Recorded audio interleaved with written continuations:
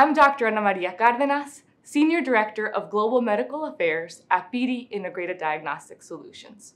We are proud to welcome you to this opening session as a gold sponsor of this year's World Sepsis Congress. Through partnerships like the ones that you will be hearing about today, we bring awareness and drive change on leading public health needs like sepsis and antimicrobial resistance. A huge thank you to our partners that are advancing the world of health with us. Welcome.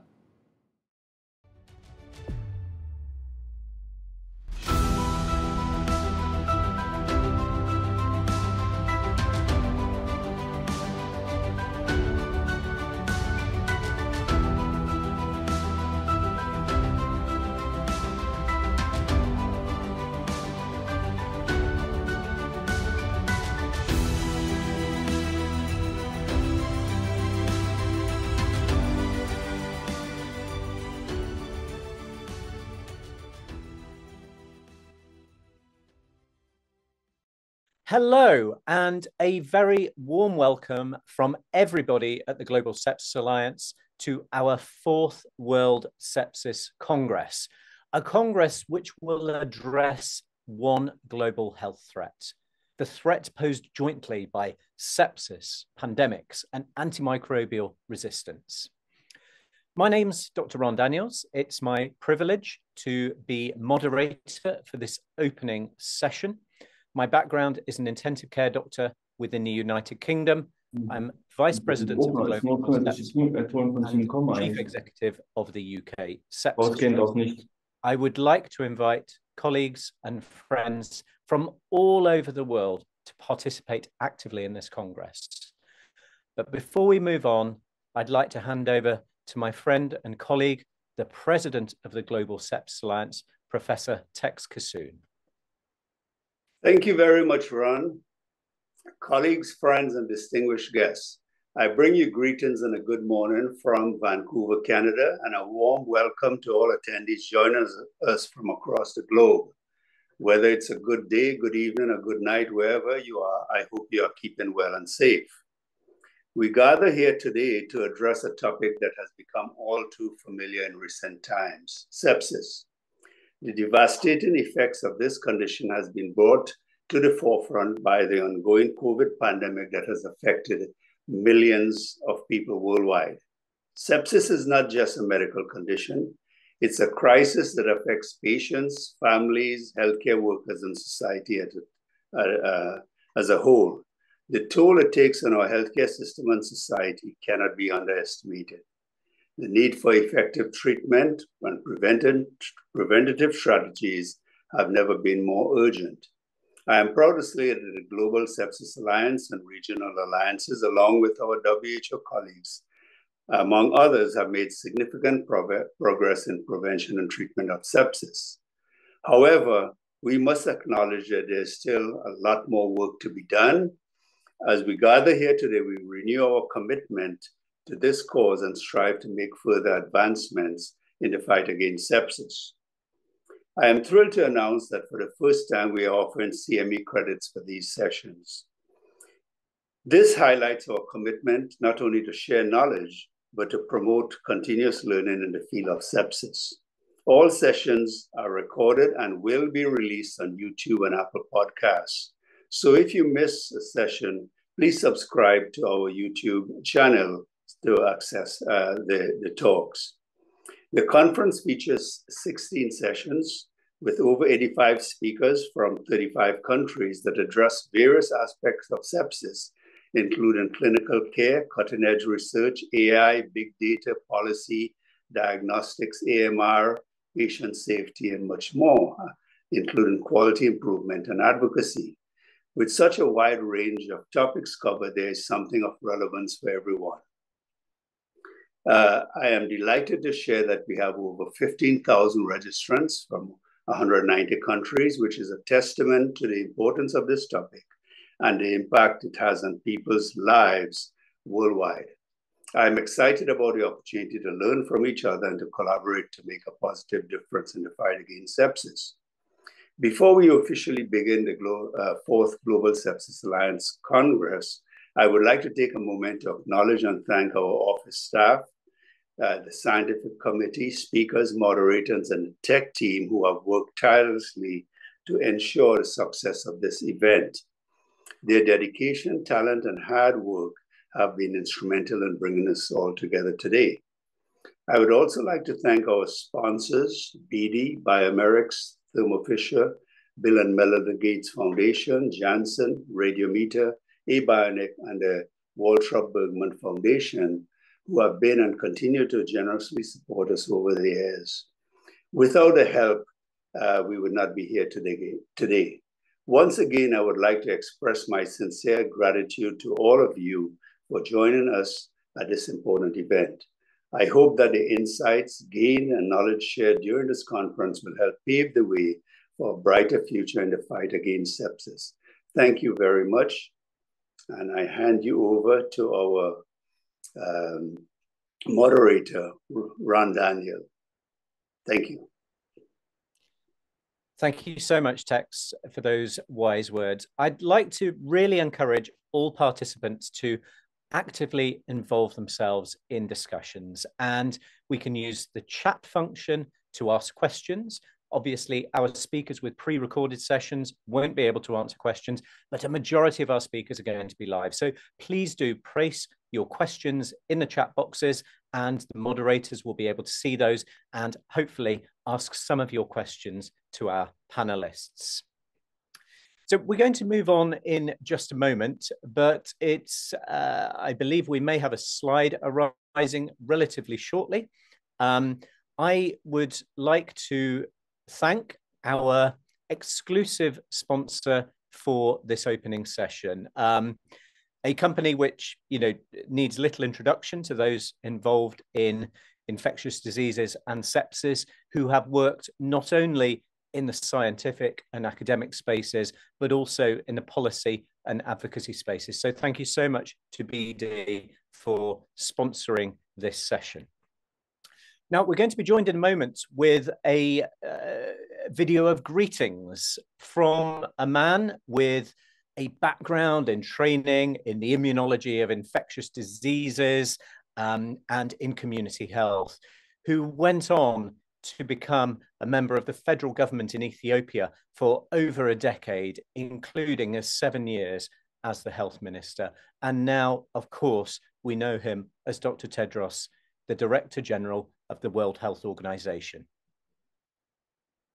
Dr. Kissoon, President of the Global Sepsis Alliance, Professor Reinhart, Founding President, dear colleagues and friends. Every year, 11 million people die from sepsis. The great tragedy is that in almost all cases, these are preventable deaths. All too frequently, sepsis is underdiagnosed at an early stage when it's still reversible. We need to stop these deadly infections by strengthening health information systems, improving infection prevention and control practices, ensuring access to rapid diagnostic tools, quality care, and safe and affordable medicines and vaccines a top priority must be addressing the lack of basic hand hygiene services in health facilities, which globally is estimated at 50%. Indeed, it's particularly appropriate that this Congress is focusing on the interrelationships between sepsis, pandemics, and antimicrobial resistance. We must urgently step up efforts to fight sepsis providing countries with a means to detect, treat, and prevent this grave condition.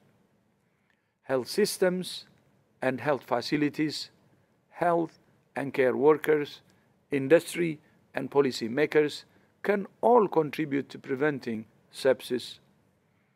Patients and their families have an important role to play too, as advocates for better and safer care. We thank all of you who have dedicated their work to this cause. We encourage you to continue fighting against sepsis as a global health threat. I thank you. Vielen Dank.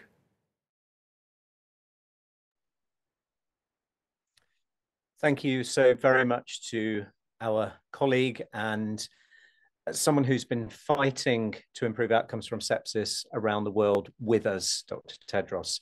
Uh, I hope we now have um, live from the Federal, Federal Ministry of Education and Research in Germany, Veronika von Messling. Um, Veronika? We yeah, hear and see you loud and clear. Wonderful.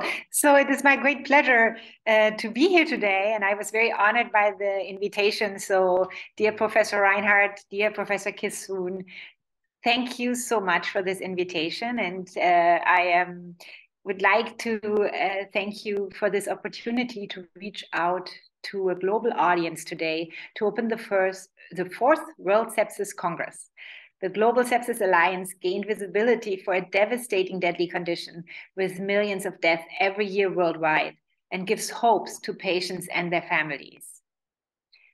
The German Federal Ministry of Education and Research, which I am representing today, acknowledges the burden of this condition and the necessity for effective prevention, diagnostics, and treatment. Consequently, BMBF has been supporting sepsis related research since quite a long time. Funded research projects cover nearly all aspects of this condition, from diagnostics through the development of clinical guidelines up to research on new vaccines or antibiotics. We are also convinced that sepsis needs to be tackled globally and that global cooperation has immediate benefits for patients wherever they live. Therefore, our support doesn't stop at German borders, but rather we invest in international research cooperations on sepsis with a particular focus in African countries. Although significant improvements in the diagnostic and in the treatment have been achieved, sepsis remains one of the most severe health threats worldwide. Related to sepsis, antimicrobial resistance is an increasing challenge which we have to face already now and even more so in the future. New antibiotics, surveillance, strategies for prevention and vaccination are very much needed. The SARS uh, pandemic demonstrated that this has to happen in a one health approach, which encompasses the health of humans, animals, and the environment we all share. Another very important component of the battle against sepsis are solid, resilient health systems worldwide. Because of that, BMBF supports public health and health systems research in the context of global health as a specific emphasis. During the following days, the speakers will share best practice examples and how to tackle sepsis. This exchange and the perspective of patients and other stakeholders will hopefully lead to a fruitful meeting and generate important progress in this really important area. I wish you, I wish you a successful meeting and very interesting discussions. And I'm personally delighted to be in an online meeting for once again and uh, experiencing this international presence from from the safety and comfort of my office. So I'm very curious about the discussions and and the multitude of voices we will be hearing. Thank you so much and good luck. Thank you, Professor Dr. von Messling, for your for your words of wisdom, your your kind words, and your contribution.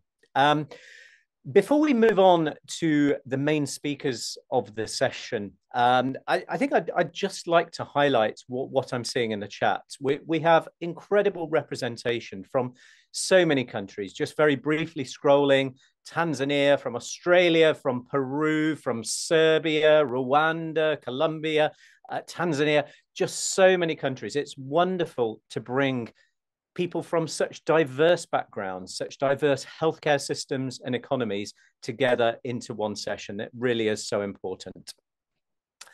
I'm now delighted to introduce um, with a session on sepsis and the achievement of the Sustainable Development Goals, the administrator of the United Nations Development Programme, Achim Steiner. Uh, as we all know, Achim Steiner has been a global leader in sustainable development, climate resilience, and international strategies for cooperation for, for almost three decades now, working tirelessly. So, very much look forward um, Achim, to, to hearing what you have to share. Professor Dr. Konrad Reinhart, President of the Global Sepsis Alliance, Excellencies, ladies and gentlemen, it is a timely moment to raise awareness of the global health threat posed by sepsis. This life-threatening response to an infection remains under-recognized. If not diagnosed early and treated promptly, it can lead to shock, multi-organ failure, and death. Indeed, patients who are critically ill with COVID-19 and other infectious diseases are amongst those at higher risk of developing sepsis and eventually dying from it. Known as the silent killer, sepsis kills someone every 2.8 seconds. Yet sepsis is not merely an issue confined to the health sphere. It is also a pressing development issue. Approximately 85% of sepsis cases and sepsis-related deaths worldwide occur in low and middle income countries. It particularly affects vulnerable populations, including those aged over 60, newborn children, and people with pre-existing conditions. Indeed, reduced access to infection prevention strategies and resilient healthcare systems in developing countries is resulting in significantly poorer outcomes. We know that tackling sepsis is crucial to achieve the Sustainable Development Goals, or the SDGs. To achieve the SDG 3 targets, including the reduction of child mortality, and to expand universal health coverage, we must accelerate action to address the burden of sepsis in both high and low-income countries. With the recognition that most cases are either preventable or treatable if caught in time, the World Health Organization is leading global efforts to tackle the scourge of sepsis. That means acting upon the lessons of COVID-19, focusing on equity, strengthening health systems, and investing in prevention. As a foundation, hygiene is vital. We must ensure that everyone has access to safe and clean drinking water and sanitation. Notable progress is now being made. For instance, between the years 2015 and 2020, 107 million people gained access to safely managed drinking water at home. In addition, the United Nations is providing healthcare workers with vital skills. It is also informing communities on infection risks and the need to promptly seek care. We know that prevention is a first line of defense against sepsis. To this end, the UN family is working to ensure access to safe and affordable medicines and vaccines which reduce the risk of contracting infections. Look, for instance, to the work of Gavi, the Vaccine Alliance, which is supporting immunization programs in developing countries through public-private partnerships. Led by key actors, including the World Health Organization and UNICEF, our sister agencies, this work is ultimately helping to prevent millions of sepsis infections. The United Nations and its many partners are also working to strengthen health information systems and ensure access to rapid diagnostic tools. We also know that most studies of sepsis have been conducted in high-income countries. There is limited scientific evidence from the rest of the world the global community must do more to improve high-quality data collection along with more research into treatments. We also need a renewed focus on sepsis prevention amongst newborns and on tackling antimicrobial resistance, an important driver of the condition. Professor Reinhart, Excellencies, ladies and gentlemen, I would like to thank the Global Sepsis Alliance for their dedicated efforts to raise awareness and make sepsis a national and global priority. Indeed, contextualizing investments in sepsis prevention and treatment within the global movement around pandemic prevention, preparedness, and response is also a clear opportunity. Moreover, the new pandemic accord being developed has a vital role to play in tackling the conditions that allow sepsis to flourish. Finally, please continue to rely on the support of the United Nations family, UNDP, to deploy the latest science, technology, and innovation to stop sepsis in its tracks. Thank you so much for your work, your leadership, and let us hope that the world will quickly learn the vital lessons that you have been at the forefront of advocating.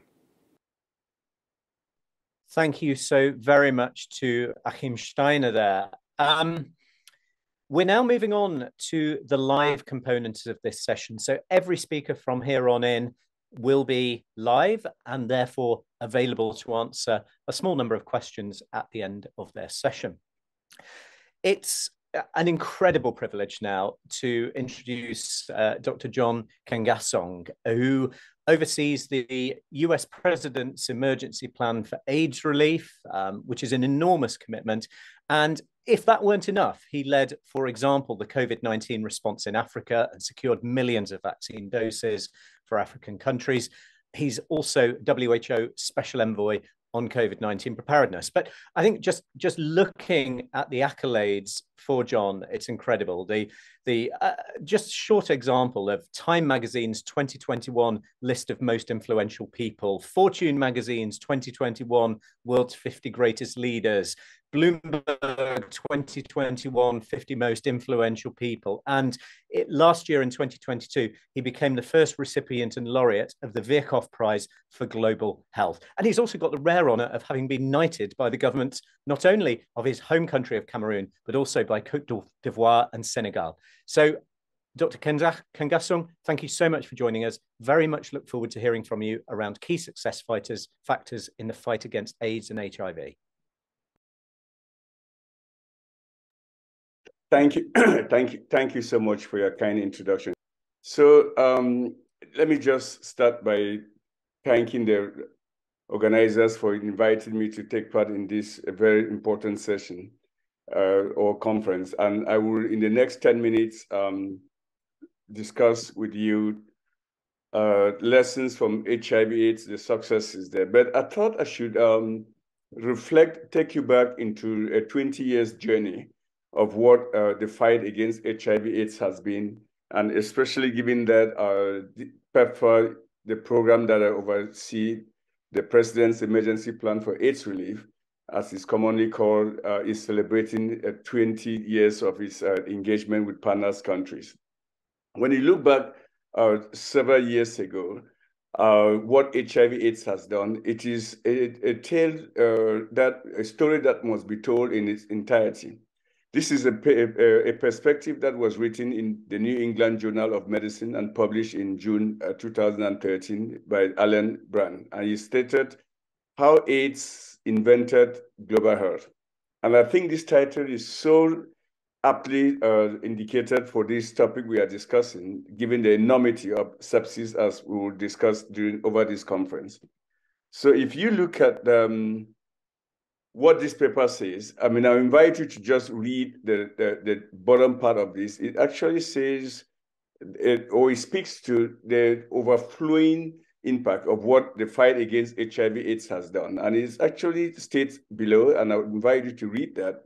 It says that AIDS has reshaped conventional wisdom in public health, research, practice, cultural attitudes, and social behavior, and most notably, AIDS epidemic has provided the foundation for revolution that upend traditional approaches to international health. And I can agree more with that. So where do we come from? About 20 years ago in 2003, uh, AIDS, HIV AIDS was a devastating disease, in, especially in sub-Saharan Africa. The graph you see here on the left-hand side shows you how life expectancy had decreased significantly in several African countries. For example, in uh, Zimbabwe, the life expectancy had decreased by 35 years, Botswana 28 years, South Africa 12 years.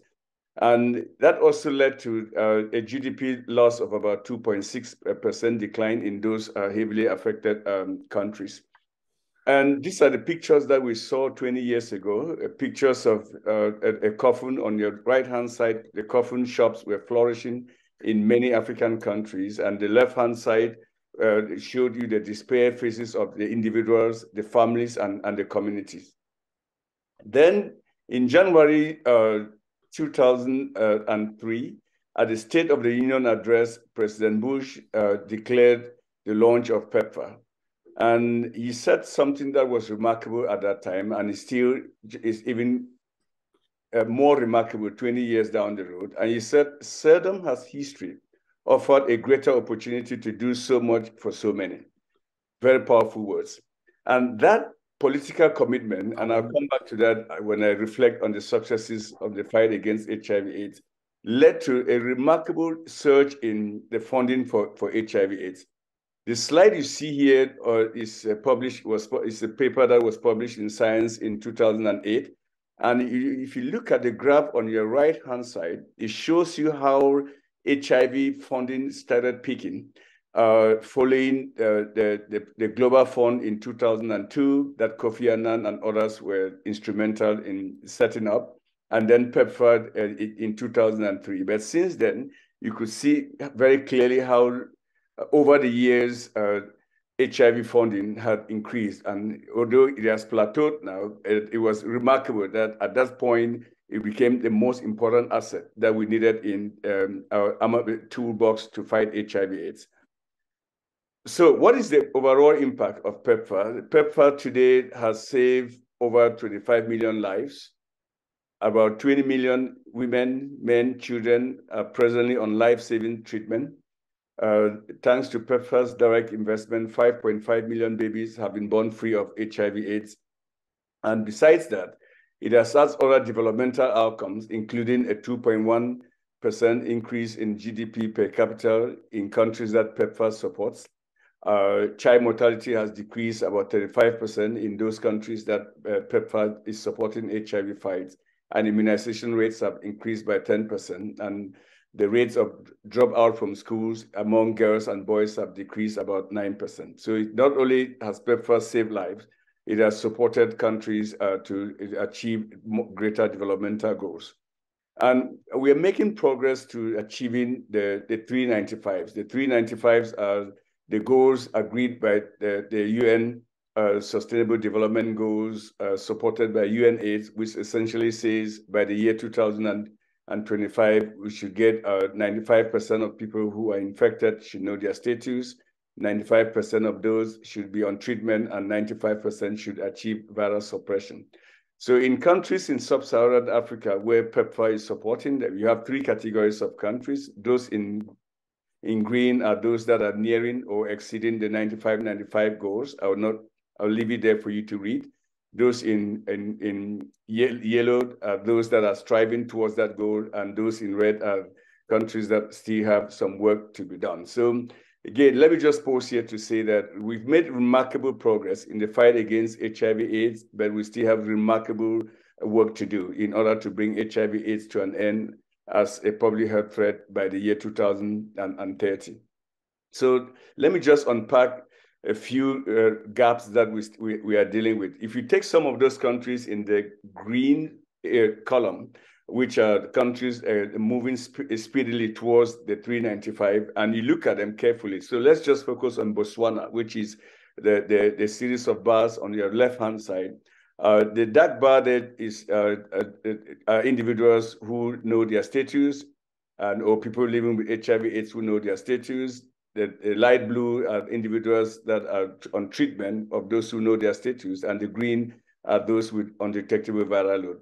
Clearly, Botswana has, uh, has exceeded 95, 98, 98.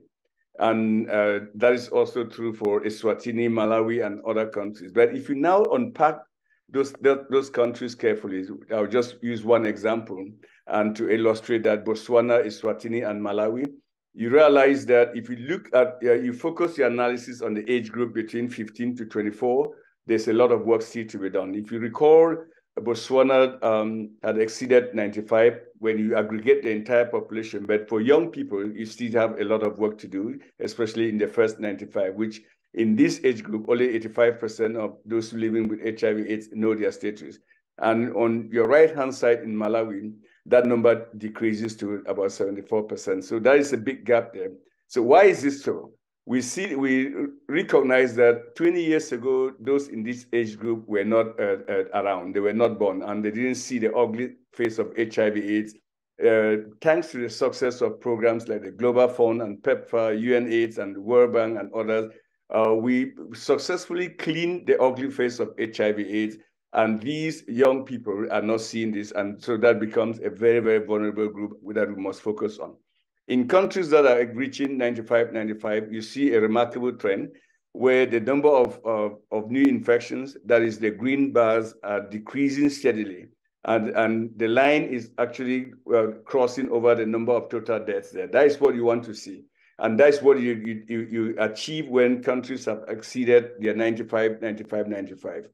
On your right-hand side is, is Mozambique, that a country that has not reached that target. And you can see that the number of new infections is still higher, remarkably higher than the number of deaths. And you want to continue to bend that curve down as much as possible.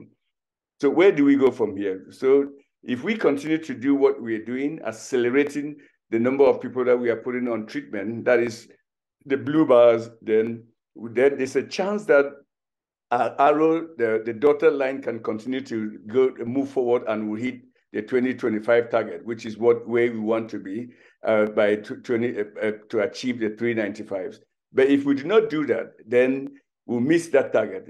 That is the red dotted line. So which is exactly what we are trying to do. PEPFAR working with Global Fund and UNAIDS is really pushing for countries to accelerate their uh, their activities or their efforts to get to the, the, the 395.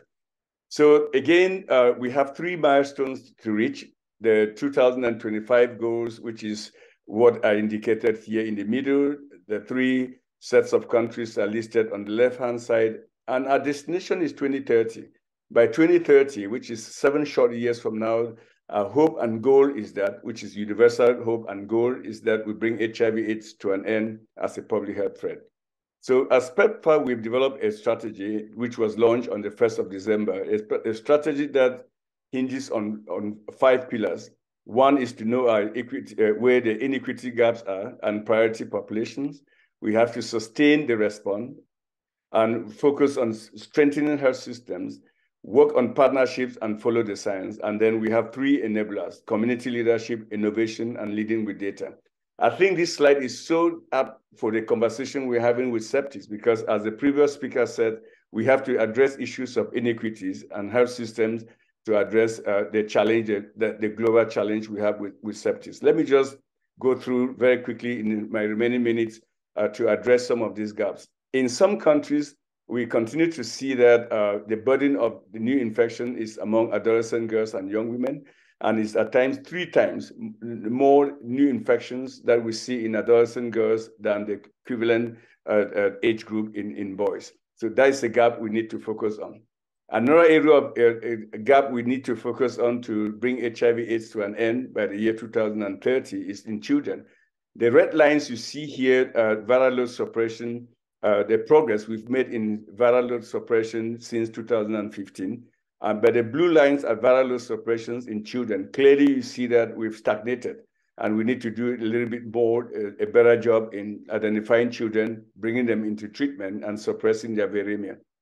Another area of interest is key population, where you see that in countries, this is a slide from Zimbabwe, where uh, the first 90 is challenged in key populations, but once you, you, you identify them, uh, like men who have sex with men, you can easily bring them into treatment and then viral load is suppressed. But until you find them and identify them, it is always a challenge. So those structural barriers that are out there, like bad policies and laws that criminalize uh, key populations. It doesn't work well for the HIV uh, fight. So just as I move to the end, again, our strategy is to make sure that we use this, uh, um, the, the leaking sink approach where we continue to prevent new infections. That is, uh, we turn up the tap, where we continue to mop the floor, which is the treatment. That is the ultimate goal of achieving our 95-95. We believe strongly that efforts have to be balanced between prevention and, and treatment exercises. So if you ask me in a nutshell, what are the key success factors in the fight against HIV AIDS that can apply to the, the conversation we are having today, which is sepsis, I can think of five, the, the, what I call the philosophy of five Ps. We have to know your pathogen. We have to know our population. Population means you have to use data to drive action. That has been the key success of PEPFAR. PEPFAR has remained a data-driven, evidence-based uh, programming that allows us to focus resources where the, the, the disease burden is most. Policy issues are so, so important. Politics, good politics equals good global health practice, and I'll come back to that, and partnerships. This is what I characterized over the years as the five Ps that we must adopt if we have to ad address some of these key problems that are global in nature. And if you look at this, uh, a story that um, uh, Gayle Smith published in Forbes just a few, uh, in 2002, she says, the story of HIV/AIDS epidemic is one of tragedy and trauma. It is a story that, about political leader, leaders finding common grounds. I summarize that reflection in one line, which says, or one equation, which says good politics plus good public health equals million lives saved. So let me just conclude with this picture of President Bush again, where in September uh, last year, I went to visit with President Bush and shared with him this picture of a baby. That is the baby you see on the lower picture, looking at him in his eyes when he visited Ethiopia. And next to President Bush is uh, the mother of that baby. She is HIV positive, born the uh, bearer of that baby who is HIV negative, and it's all thanks to a collective global action that resulted uh, in the delivery of PEPFAR and Global Fund that allowed that baby to be alive. That's the kind of partnership and boldness that we should deploy to addressing the challenges we face with septic. Thank you so much for your, the opportunity to address you this morning. Thank you so very much, Dr. Nkengasong. I, I, I haven't uh, seen any immediate questions for you coming into the chat, so I'd encourage participants uh, from all over the world to, to ask questions of you. But but I'll, I'll open if I may. Um, you, you mentioned the the experience, particularly in young people and adolescents, um, that perhaps they weren't exposed to the very understandable and needful fear messaging in the 1980s and 90s around HIV and AIDS. Um, and obviously, we are hopefully beginning to come through a global pandemic in which I think fear was an important driver of engagement of governments and large scale international collaboration and cooperation. Um, sepsis is, is maybe different. And I'm not sure that we should have populations in fear of sepsis uh, in their daily lives. So I, I think what, what lessons from HIV and AIDS in terms of public messaging might be directly important to improving outcomes from sepsis? given that they're slightly different? Yeah, they're, they're absolutely slightly different. But uh, as I what I concluded with uh, the philosophy of the five P's is what um, I have reflected on over uh, the years. And regardless of the pandemic or the epidemic you're dealing with, you you want to be sure that you you you galvanize the population. Okay, that, that, that you bring full awareness to the population uh, at times you may have the tools, and if the population is not fully uh, galvanized, the tools don't go anywhere. We saw that during the COVID crisis, where even with vaccines, it became problematic then. Uh, you have to have good policies. I mean, regardless of whether you're dealing with septics or not. Then political commitment. I mean, a lot follow, follows through political commitment. I didn't mention funding because funding by itself is difficult to get if you don't have a good political commitment. So I showed this slide deliberately in the early uh, 2000, where with political commitment, especially from the UN, uh, the UN in 2001 issued for the first time the UN Security Council a declaration commit, uh, declaring HIV/AIDS as a, a, a, security threat.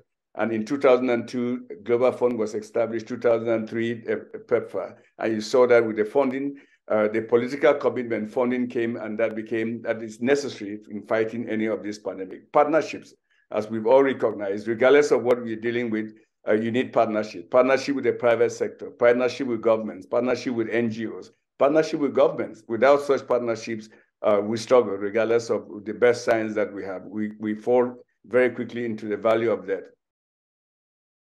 thank you so much. Um, and so we, we've had one question come in, and I, I, just remind participants to please put at speaker at the beginning of their question so that we can identify them.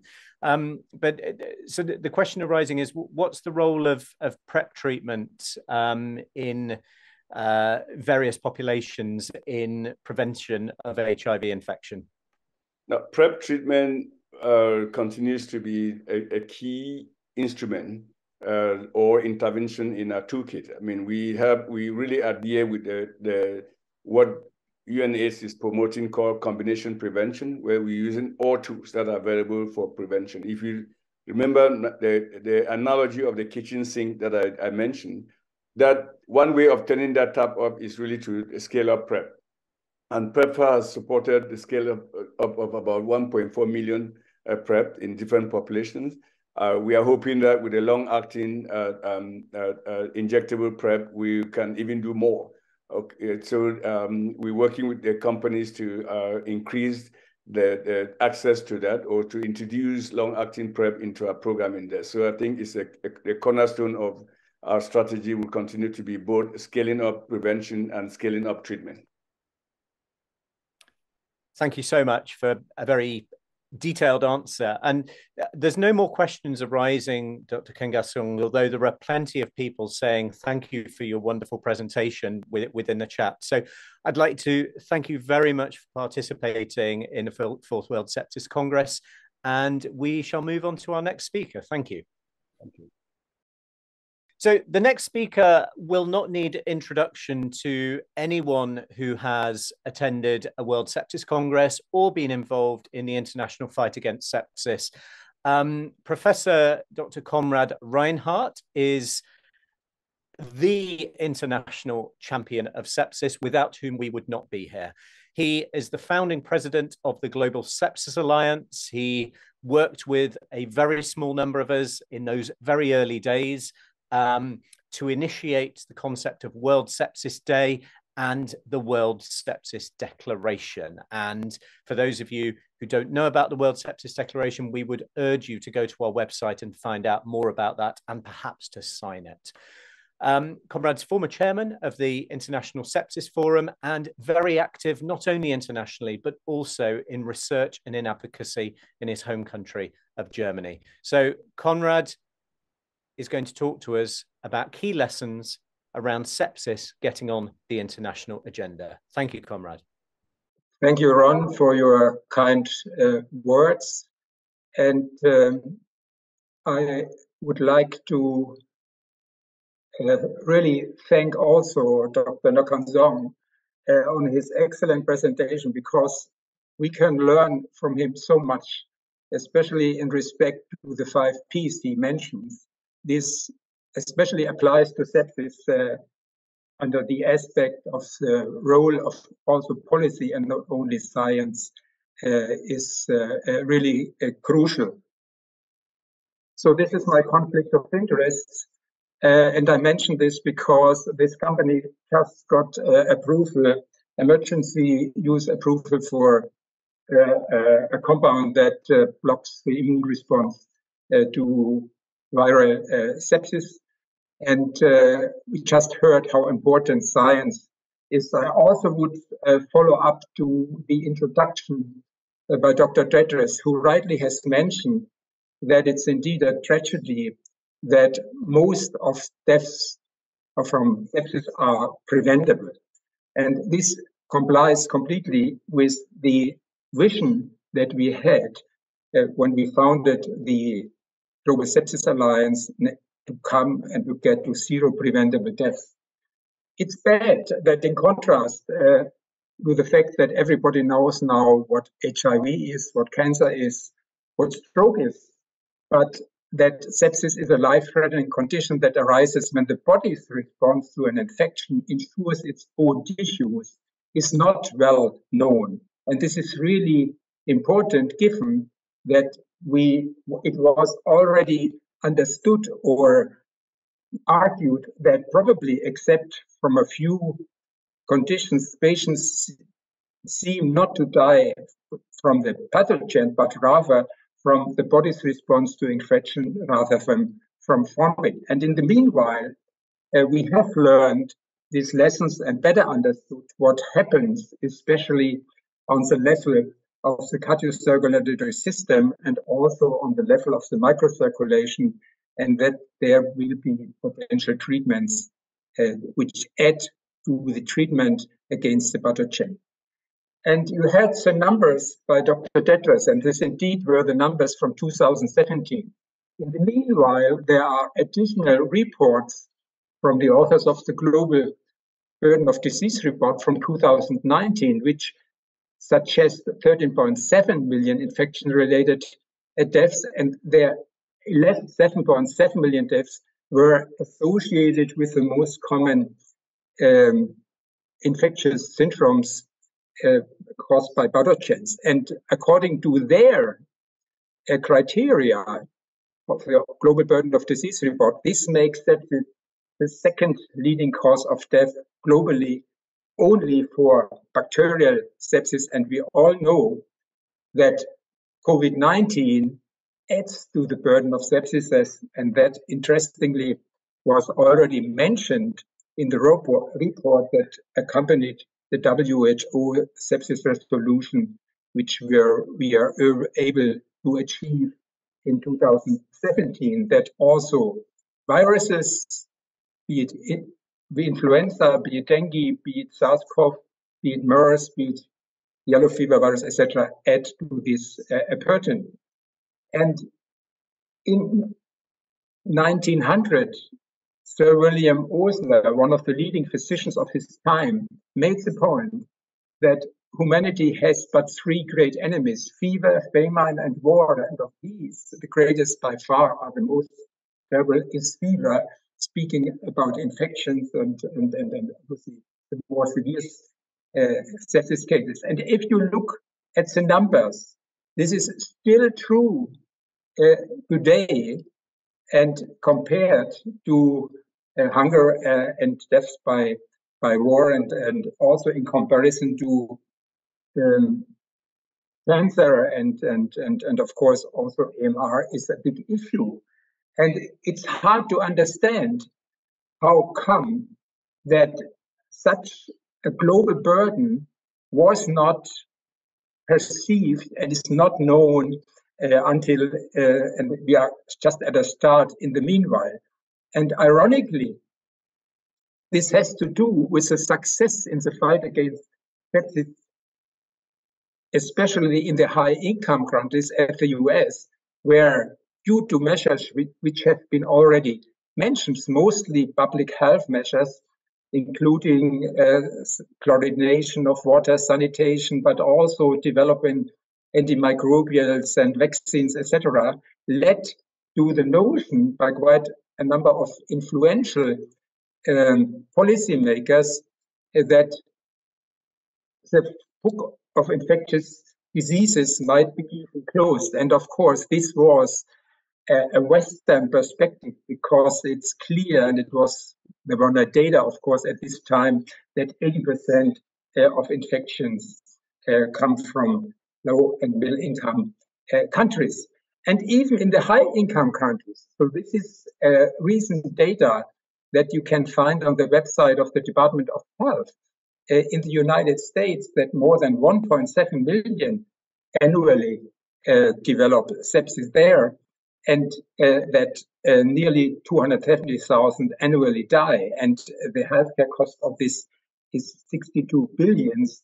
Um, and so, as I said, uh, it was surprising that when we that the knowledge on advocacy for sepsis, when we started this moving, uh, before we started this movement, sepsis was fully defined and understood. There were no only two national and local sepsis initiatives. Sepsis was no priority at the level of WHO, G7, or G20. Sepsis was no priority for any WHO member state.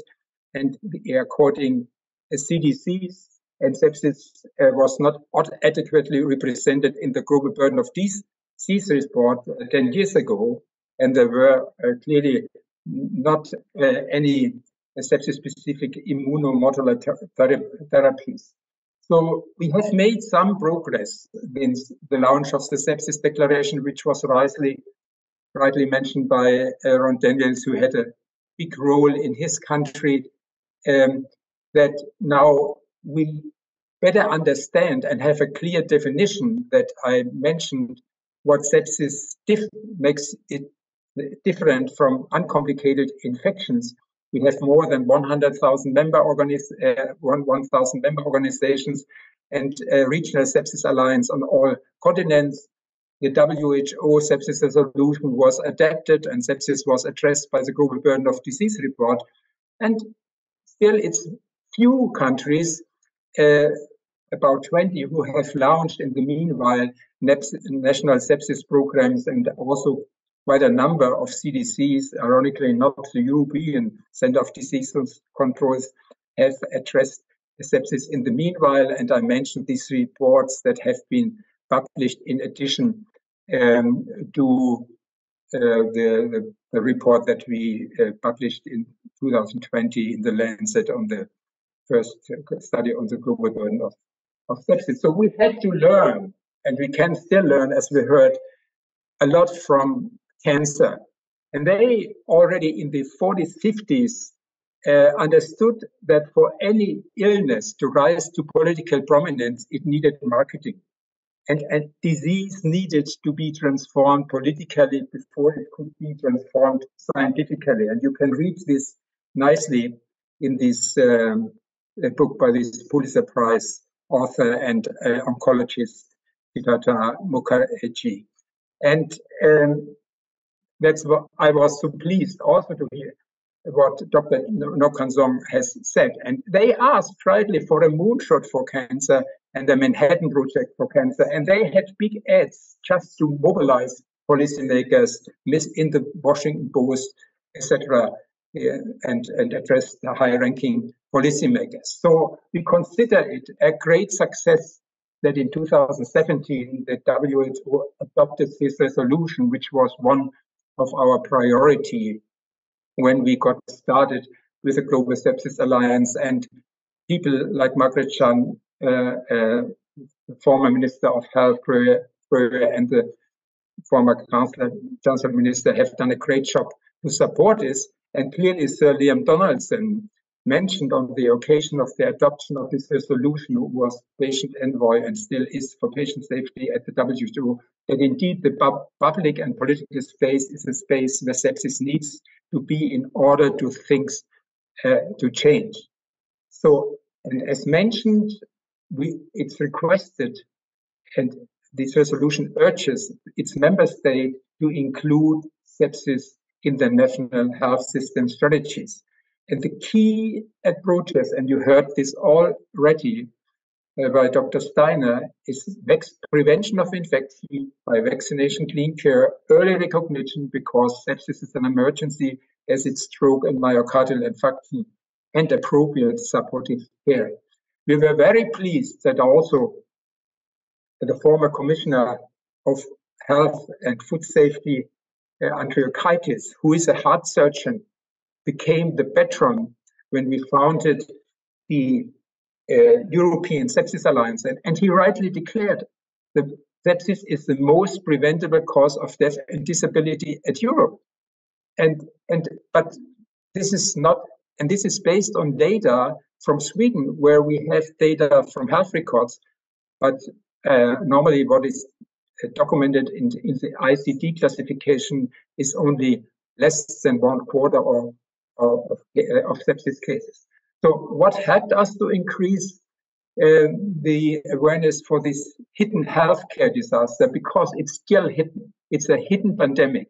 It was indeed research on the magnitude and the health economic burden of sepsis, the proof that infection prevention, early recognition, and the quality of healthcare systems works and is important and foremost, involvement and advocacy of patients and family also made a big difference.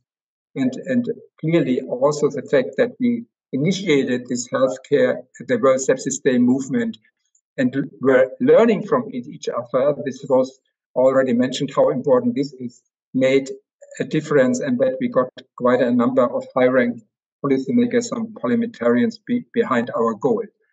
So indeed, both in UK and in the US, the fact that families who did not accept that they unnecessarily left, lost their last one, they addressed hiring policymaker. They went to the media.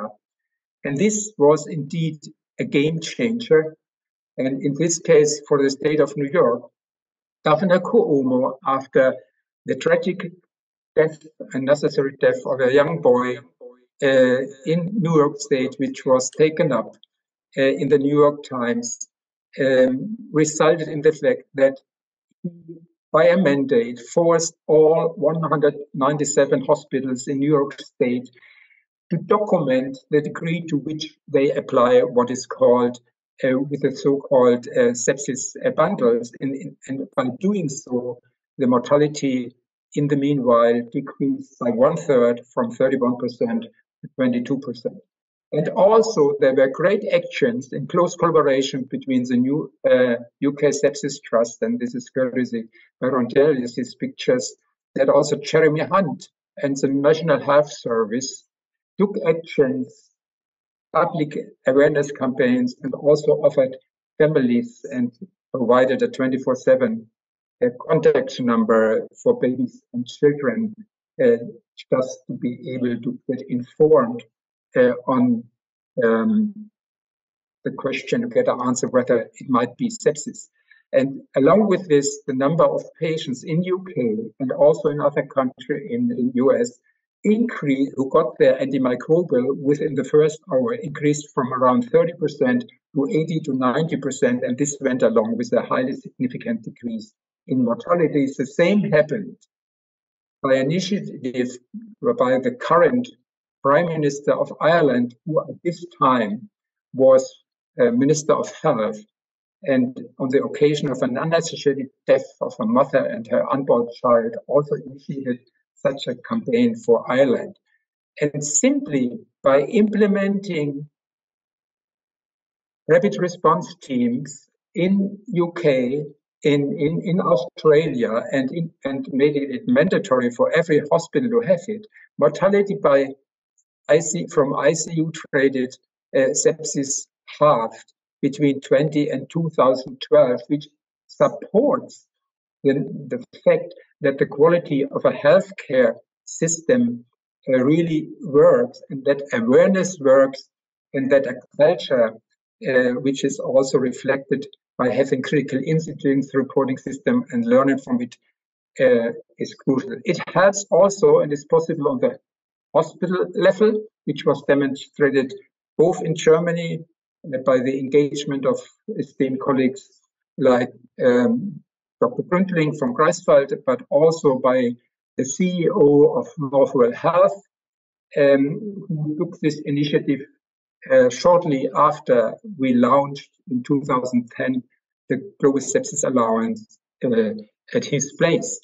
And I mentioned already, we need indeed to learn from each other. And we do so and by implementing simple measures to improve sepsis recognition, prevention, uh, and reporting outcomes, uh, we can make uh, a difference and millions of lives could be saved life. And it's hard to understand, as I mentioned already, that despite the high incidence of sepsis and the fact that it has been demonstrated that it's preventable, uh, that only 20 countries so far have adopted uh, uh, according national strategies or have at least decided to go along these lines. So that's it's very encouraging that the German Minister of Health, which who we communicate quite closely and who we have also awarded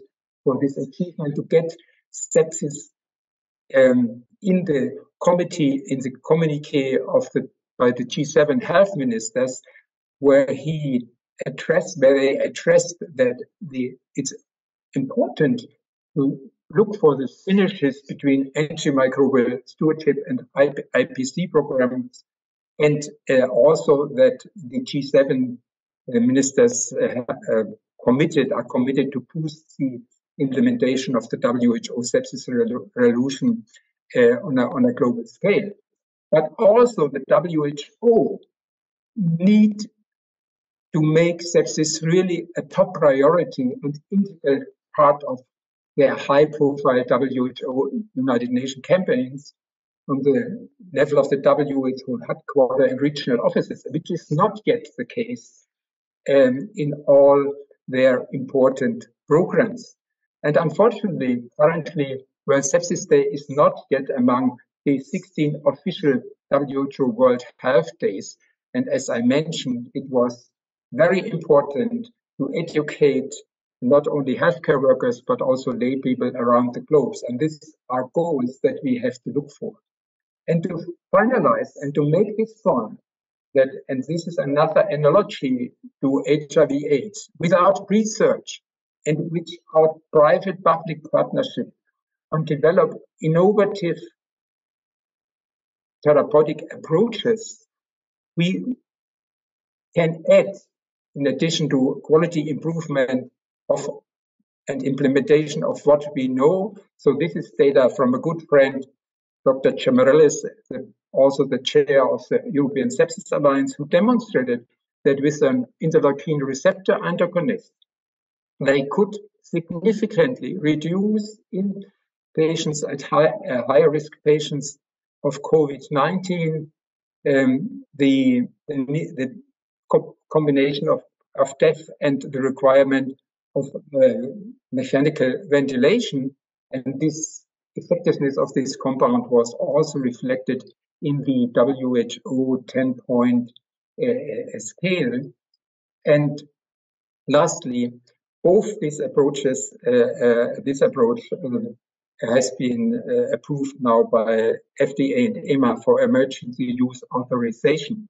And likewise, as I mentioned, uh, um, this data recently published in Lancet Respiratory, uh, which resulted in a 27 point uh, mortality reduction in COVID-19 sepsis in the sickest patients, who most of them were already in mechanical ventilation.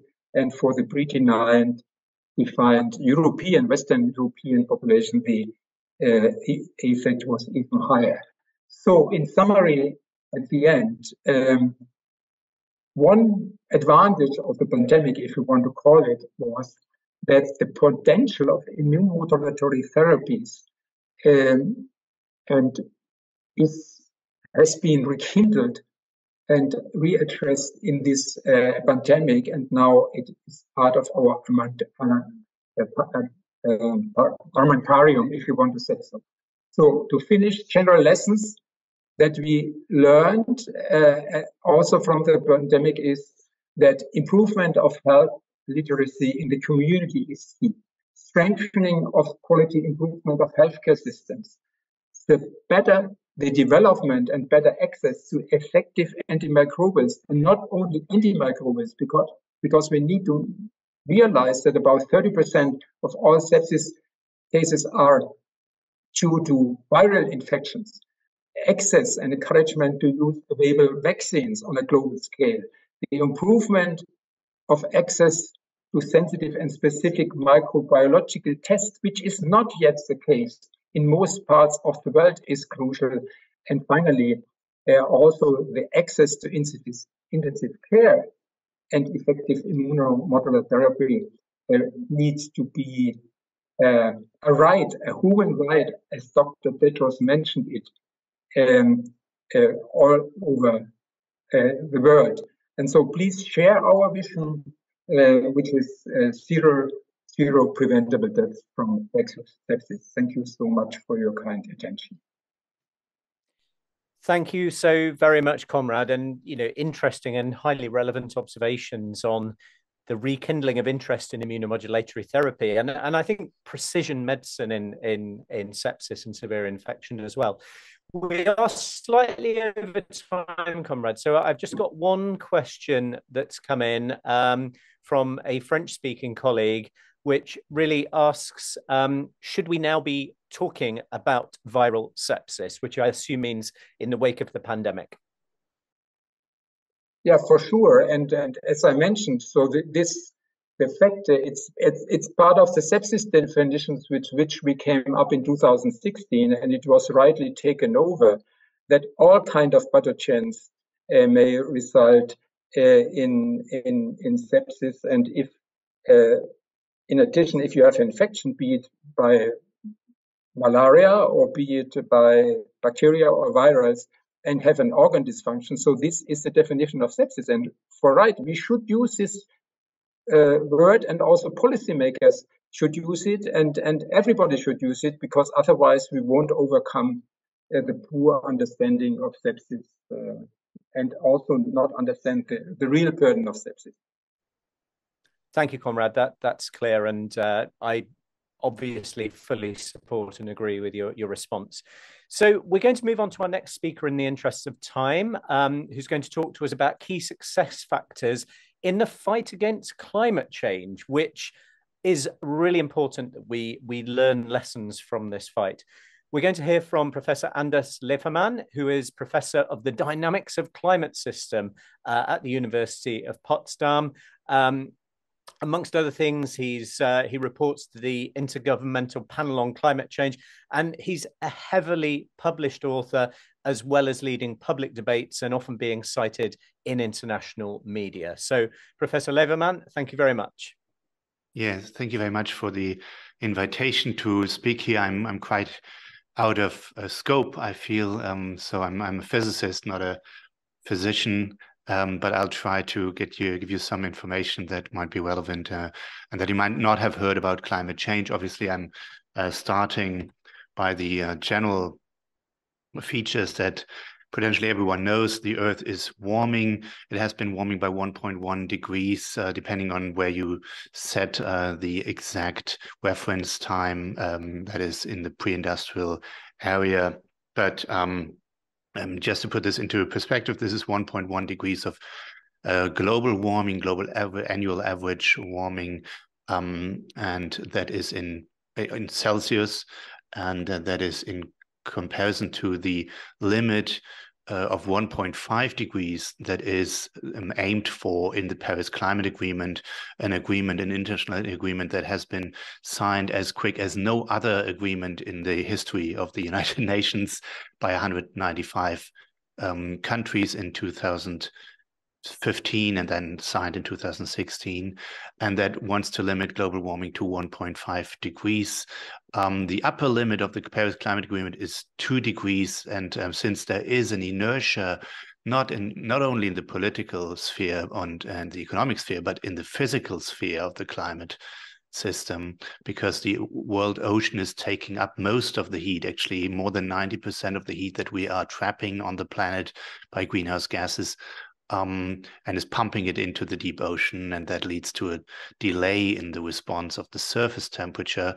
Um, we will find, we will even if we start, uh, if we stop uh, emitting carbon dioxide um, immediately, we will have a delayed after uh, warming, if you like, until we get into equilibrium, and that'll bring us close to 1.5 degrees. So I think and a lot of a lot of colleagues disagree, but I think politically um, it is very unlikely that we keep the 1.5 degrees. I, I, I, shouldn't say a lot of colleagues disagree because um, this is a bad matter of assessment of the political system. In principle, it is possible physically to keep the 1.5 degrees, but um, I think we should uh, we should focus on um, on combating climate change altogether. And let me tell you in a, min a minute what that means.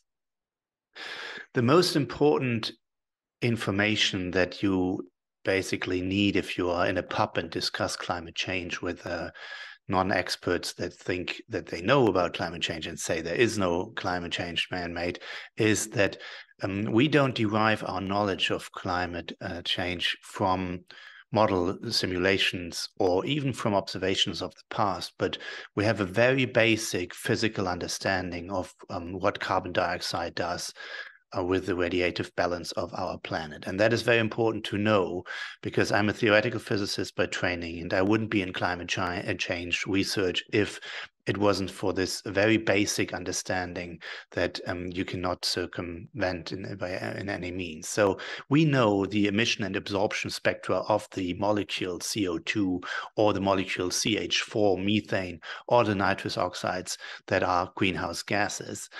And um, just combining this with a basic understanding of quantum mechanics, and um, we uh, we we know that every doubling of the carbon dioxide in the atmosphere will increase the temperature of the planet by 1.1 degrees. Um, but uh, so that wouldn't worry us too much. But then there's the first thermodynamic um, feedback in the climate system that is also very simple. A warmer atmosphere can hold more water vapor. That is the Clausius-Clapeyron equation of uh, 1834. So it's very basic physics. That's why Ludwig Boltzmann is here.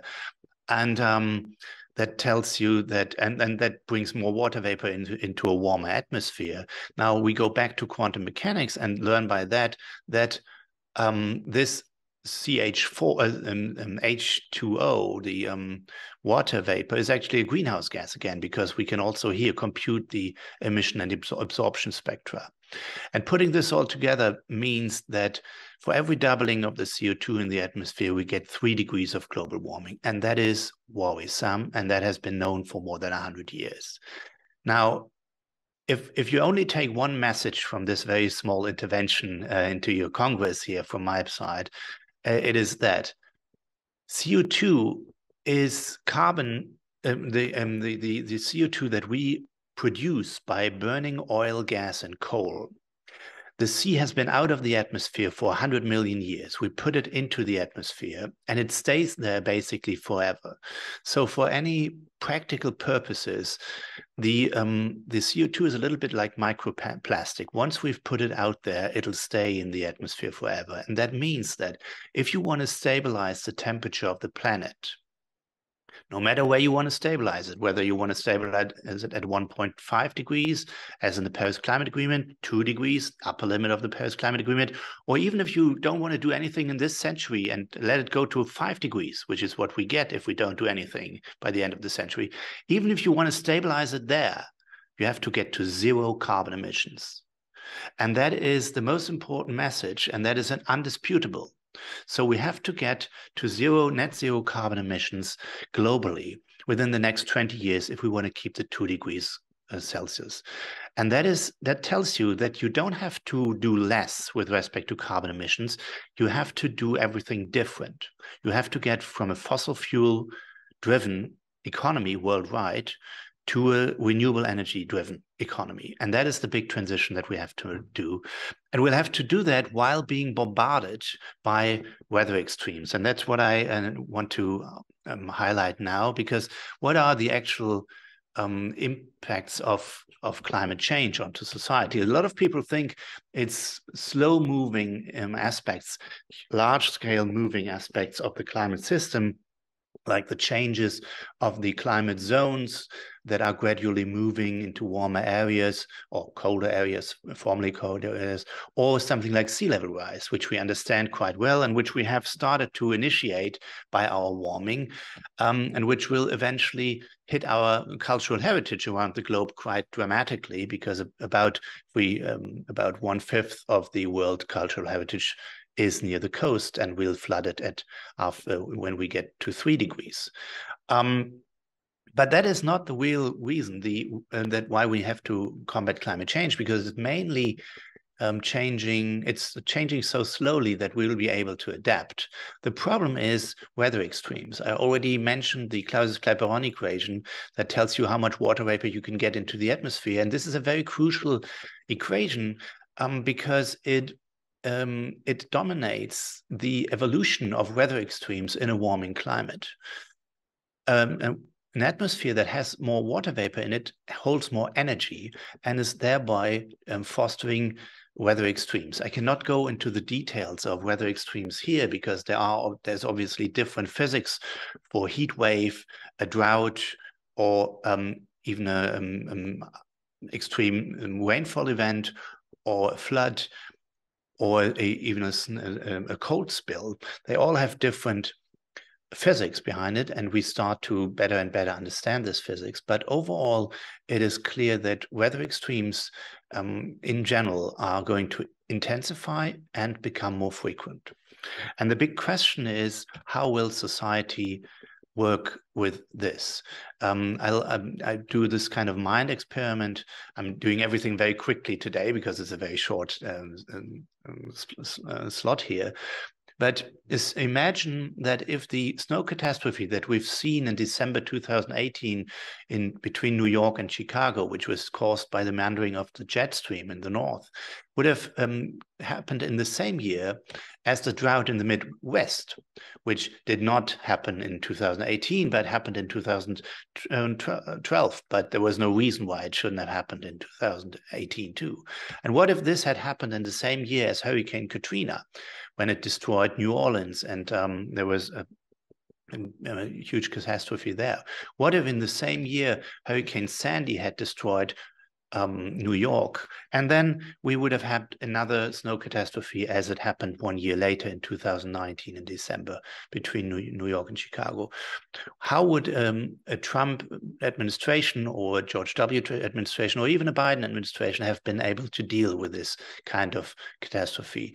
I want to highlight um, this here because it is that is really the problem with climate change. It's not a, a big wave that is going to um, you know sweep us all away. And um, so it is not a, a threat to mankind. It is um, a threat to democracy. It's a threat to our um, state of law. And um, our relatively stable states um, that we um, that we uh, that we live in and, and that we enjoy there is one other possible impact of climate change or cause of climate change that has been that has occurred in 2019 very briefly, and that is a synchronized drought um, in all the three bread baskets of the planet.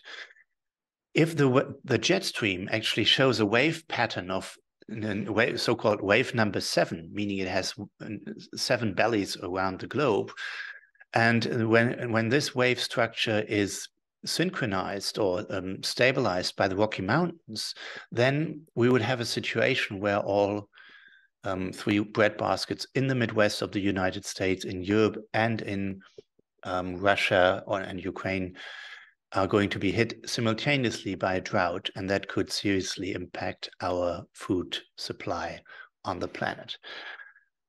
In way, we have to account for weather extremes in our future. We know that it's economically best to limit global warming below two degrees. Um, that is, if you take the costs of climate mitigation, of limiting carbon dioxide to um, and going to zero, and if you weigh these with the damages that climate change is going to cost in the future, um, if you weigh these two, then the minimal costs globally are um, around two degrees of global warming. So it also makes economically sense to do to limit uh, the global warming.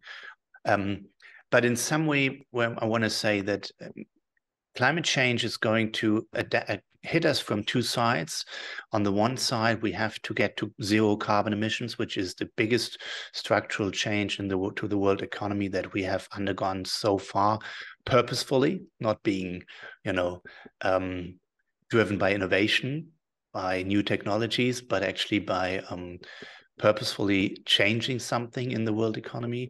And we'll have to do this while the weather extremes intensify around us, because if we don't combat climate change, um, there is no limit. We can we have enough found enough carbon dioxide, uh, we have an, found enough coal um, in the ground to elevate temperature by five degrees by the end of this century, by 10 degrees by the end of the next century, and by 15 degrees by the end of the following century after that.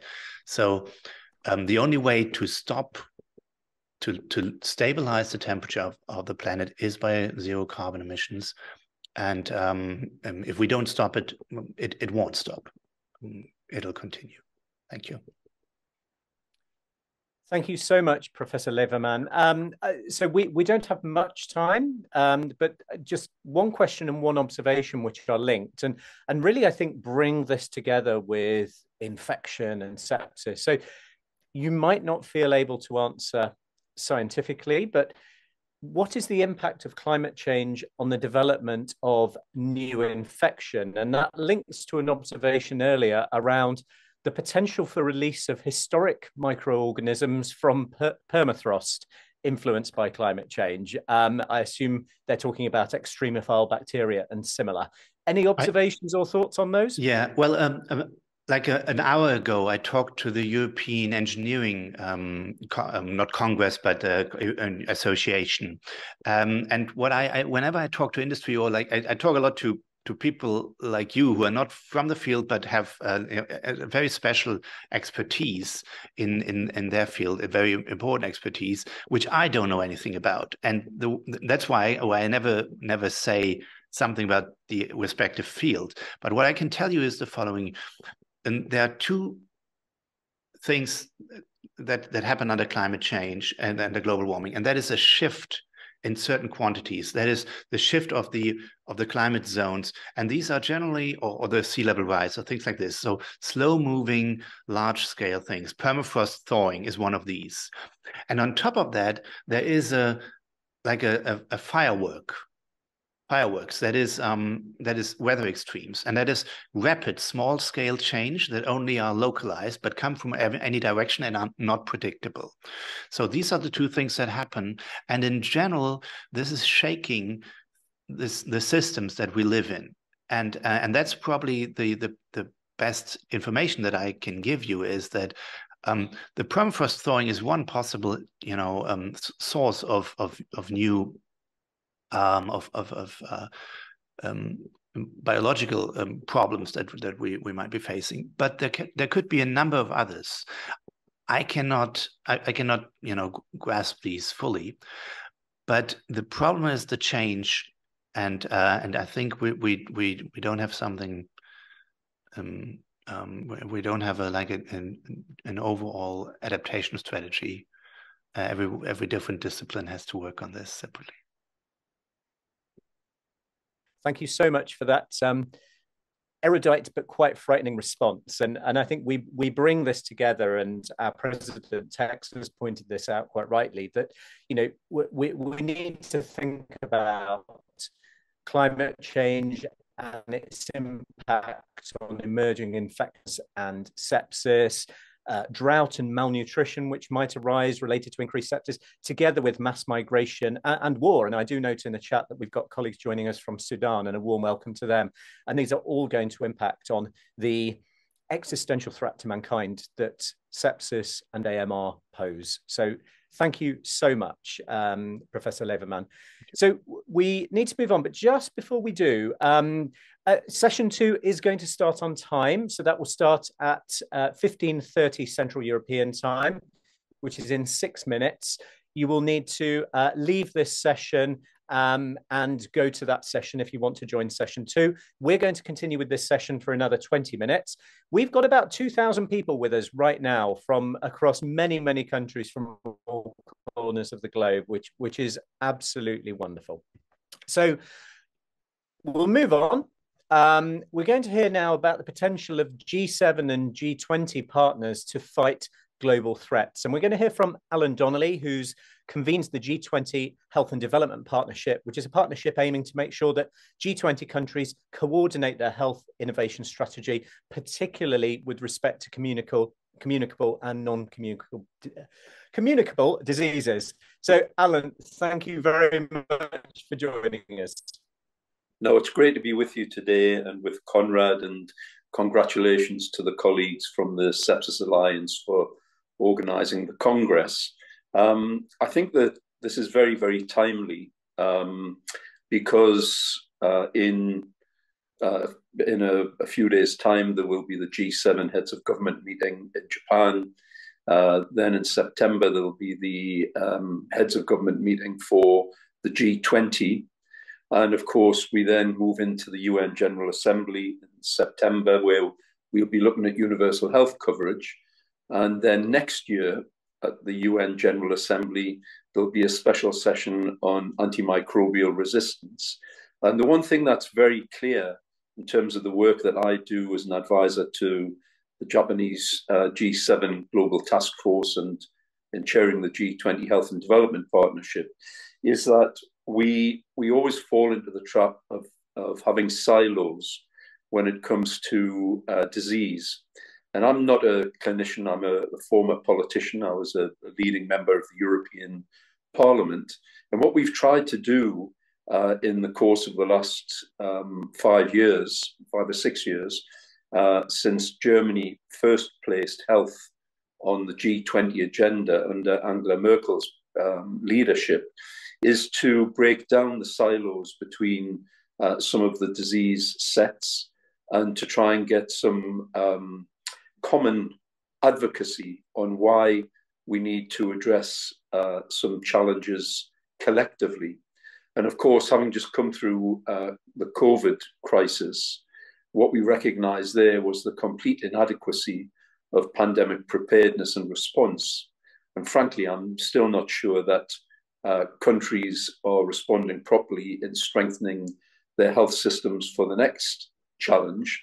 But we are now faced with uh, this other dual pandemic, which is antimicrobial resistance and also uh, sepsis. And what I want to say at the very beginning here is that the work that we do in the G20, G7 Health and Development Partnership is very practical. We want to try and influence the way in which health ministers, finance ministers, and heads of government respond to these global challenges. We know, for example, that the, the cost um, of COVID 19, depending on whose statistics you look at, is somewhere between 15 and 20 trillion dollars, um, let alone the human cost, of course. And then we look at the number of lives that are lost uh, from people who are not diagnosed in time with sepsis, and also the, the lives that are lost um, because of drug resistance uh, in the in the population. And so, what we are going to try and do uh, within the G20, G7 Health and Development Partnership at our own summit meeting on the 20, 21st and 22nd of June, and in our subsequent work, is to is to really target um, antimicrobial resistance. And I'm conscious about the fact that sepsis, in terms of COVID, you know, it's very clear that there was a very high incidence of viral sepsis. So what we want to do is focus in in this area and look at what the practical solutions could be. And it was very interesting looking at uh, Konrad's slide. And we've done some of our own research on this, talking to health ministers in particular. and it's quite disturbing how um, little sepsis plays in the uh, in the national uh, health strategies of countries around the world. Um, it's very disturbing that, in terms of the training of health professionals, and I'm not only talking about uh, doctors here, I'm talking about clinicians throughout the health system, uh, how little training there is to identify sepsis. And as you will know as clinicians, uh, if someone uh, goes undiagnosed, then death can happen uh, very rapidly. And so, one of the things that we really want to focus in on uh, in the coming months is to get governments to address uh, the, the mechanisms that they have. For example, the laboratory capacity for diagnosis uh, of sepsis, both in ICUs, but generally in hospital wards, where there's a, there's a significant uh, lack of laboratory capacity to do this. We need to make sure that health professionals and clinicians, people in low and middle income countries who are offering nursing support in remote locations, that there is a concerted effort to make sure that uh, there is an understanding on how to diagnose uh, sepsis. And we will be pushing, um, and I know Konrad, I hope Konrad will be at the uh, G20, G7 uh, uh, annual summit at the World Health Organization in June. We will be pushing very strongly uh, to make sure that they don't, that they, the leaders don't go off and deal with AMR as another silo without recognizing that sepsis must be addressed too. And the way that we plan to do this is that we've already started the dialogue with the leaders group on AMR. And one of the rapporteurs on this is uh, Dame Sally Davies, who's the former chief medical officer for uh, England. And I was with her last weekend uh, where we were talking about this issue.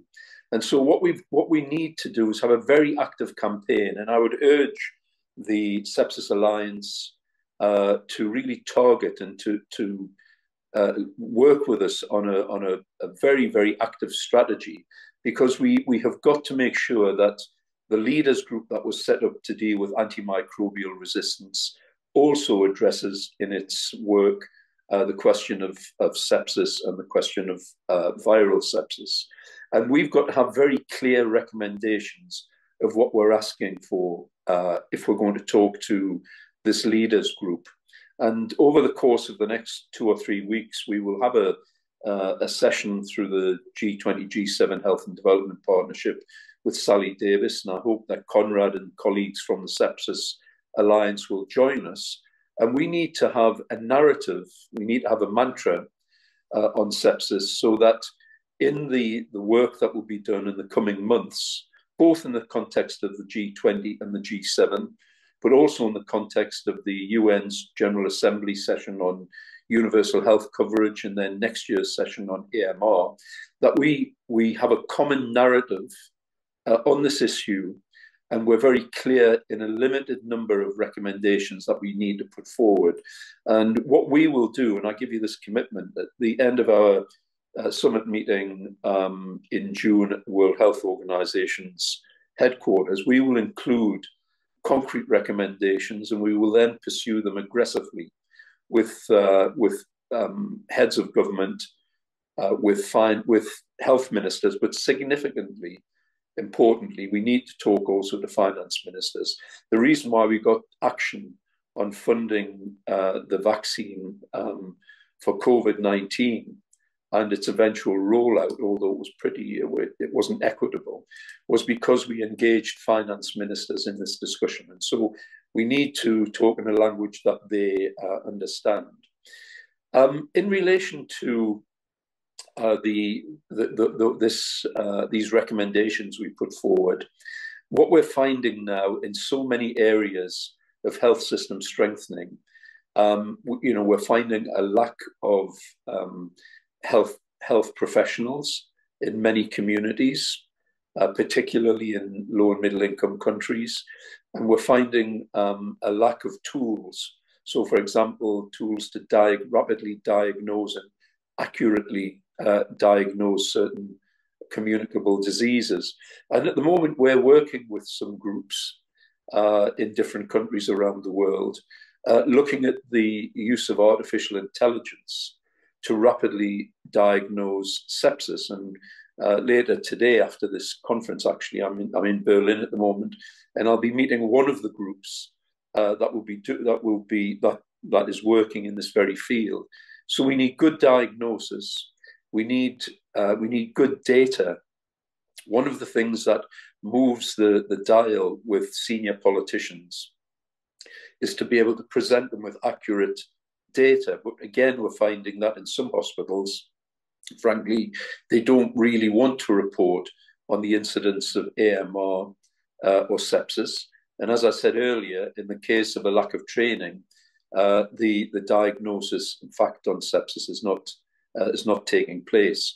And the, the, the lack of um, training in this area, uh, you know, I assumed it was in, in you know, some of the, the lowest income countries in the world. It's not true. It's true also across the European Union, where the, there is simply a lack of training in being able to identify this.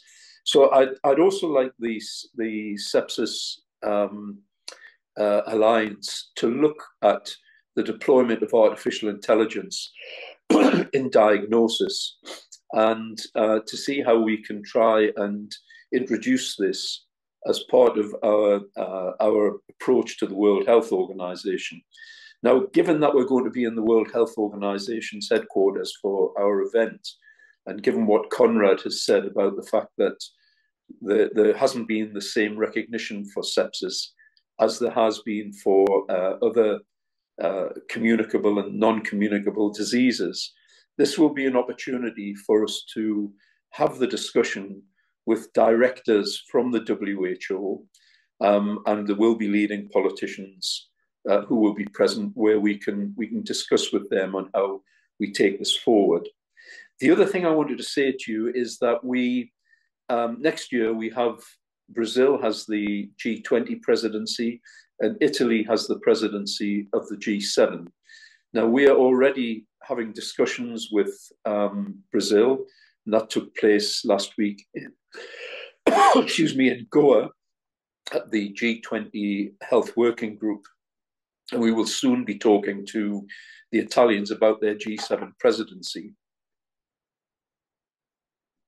What we would like is for a joint initiative by uh, Italy and by Brazil next year in the run up to the AMR uh, high level meeting, which will take place in New York at the UN General Assembly uh, for, for sepsis to be incorporated, excuse me, in that discussion.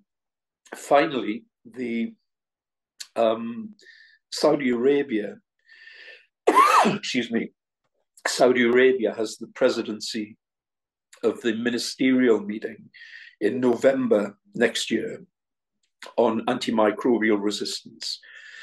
We are already talking to the Saudis to make sure that part of that ministerial meeting is dedicated to the issue of sepsis too. And we need to make sure that the Sepsis Alliance writes to the Saudis and asks for this to be included in the agenda. So before my voice gives up, what I really think we need to do is we need a clear set, a limited set of recommendations. We all need to be saying the same thing. We need to be saying those following on from the German G7 presidency in 2022. We need to be saying those at all of the international fora that will be taking place. And certainly the alliance will have our support within the partnership. And then what we need to make sure is that when these uh, meetings, these important meetings next year are taking place on AMR, that it is an AMR stroke sepsis discussion and that the conclusions address the spectrum that uh, AMR and sepsis present uh, to the world. If we don't do that, we will not address universal health coverage, and we are just going to see both the human cost and the financial cost of, of sepsis continue to increase, and it will be debilitating whether you're in a low or middle income country or whether you're in a high income country. And it can be fixed, I think, as Konrad said in his introduction. This can be fixed, but we need the cooperation of politicians. So thank you very much. Thank you so much, Alan. Um, I, I'm not seeing direct questions to you in the chat. A lot of agreement around uh, diagnostics, and I would add my own prejudice. This is around proper systems integration of point of care diagnosis and uh, diagnostics and rapid access by clinicians as, as well as data. So in the interest of time, I'll, I'll just ask one question because none, none, are coming in through the chat. You talked very eloquently about about the silos that exist and the risk of the AMR silo kind of subsuming the sepsis agenda. Where, whereas, you know, really, as we all know, AMR doesn't really kill human beings. Untreatable infection does as a consequence of AMR, and the mode of death is sepsis. How critical is it that we try to unpick these silos and reframe the politicians' understanding of this such that sepsis AMR and infection prevention are considered under the same umbrella, umbrella as the pillars of infectious disease management? Well, I mean, it's a really interesting point. I, I, I was talking um, last week to um, a number of the organizations that are campaigning uh, on issues related to cancer. And some of the leading clinicians I talked to said, um, you know, you can't take cancer as a silo because if someone has their uh, immunity impacted by chemotherapy or by, by other treatments, then the likelihood of them uh, suffering, a, a, you know, a drug-resistant uh, or being infected by drug-resistant pathogen, which then leads to um, death from from sepsis, is very very significant. And so one of the things I think uh, we're going to try and do in June of this year is actually to invite um, leading representatives from the, the oncology community to come and talk about the links between these things. But I can tell you at the moment, uh, they, and this will probably happen at the World Health Assembly next month, these things are siloed. And we have got to break this down because, uh, you know, pe people who had, uh, you know, sufferers from HIV, AIDS, people with tuberculosis, were far more likely to die from COVID nineteen. I mean, the you know the the the issue of multi-infection is a serious issue, and uh, for people like me, you know, I'm, in uh, from an economic background, but I've learned a lot in the last six years. uh, we have to understand the way in which these diseases impact one another and how it impacts uh, humanity, human health, and how it impacts the, the, the bottom line when it comes to investing in our health systems. Thank you so much, Alan. And, you know, huge food for thought there, but uh, we really must move on. So, our final speaker in this session, and uh, apologies from the team that we have run over slightly, and apologies from me as moderator. The final speaker is Professor Beate Kampmann. Um, she's an infectious disease, a pediatric infectious diseases clinician by background. She's worked extensively in many countries around the world, and particularly in the Gambia. And she is currently Professor of Global Health and Scientific Director of the newly established Charité Center for Global Health. And she's going to talk to us about the role of public health to fight global health threats. Beate, thank you. Thank you for this kind introduction and uh, also for the invitation to this incredibly important uh, global context and uh, subject. And Ron, um, it's great to know that uh, Alan is also in Berlin, so maybe we can liaise. So, um, right, so this is um, the topic that I was given by the organizers, and uh, it's a really quite a tricky topic. I decided to present you my view and my experience in research. I'm a clinician scientist in pediatric infectious diseases, and I've spent uh, probably the early phases of my training resuscitating uh, children with meningococcal septicemia on UK intensive care units. But also, I've worked for uh, over 15 years in resource poor settings, and I want to bring a little bit of the flavor of the the understanding and the uh, challenges also that we have when we are trying to translate public health to global health threats. So, um, the first thing to say is we usually start off with personal health because we are physicians. However, what we are doing uh, for personal health also has an impact on public health because from the person it goes to the community, and from the community it's just a question of definition whether we put the community into the global uh, spectrum or perspective. And that ultimately also relates to planetary health, as our colleague um, has just uh, very eloquently also demonstrated. However, it's a hugely difficult subject to grasp. And for me, things work when I put them into the context of a particular case study. So the case study that uh, I have uh, chosen here is one of neonatal sepsis and AMR, and uh, I hope this will resonate with the audience. Um, as you know, global neonatal deaths uh, are still considerable with 2.4 million, and one of the main causes of neonatal death is, in fact, neonatal infections. And uh, my group has uh, spent some time in thinking around etiology uh, on the global space as also transmission pathways. And I just want to present you a few snapshots how we've tried to come from the individual patient to the global context in this space. So, sources of infections amongst newborns are several. There could be the mother, the hospital, or the environment. And uh, when we're thinking about vulnerable neonates in uh, intensive care units or high dependency units in many countries, they can have many, many different flavors. And the hands of carers and healthcare workers are unfortunately a huge source of contamination, as can be intravenous medications. Uh, and with a focus on the overcrowded neonatal units that we find in particularly resource poor settings, we have conducted some research on uh, trying to understand what is causing the neonatal admissions, how quality of care impacts, and what the outcome outcome could be.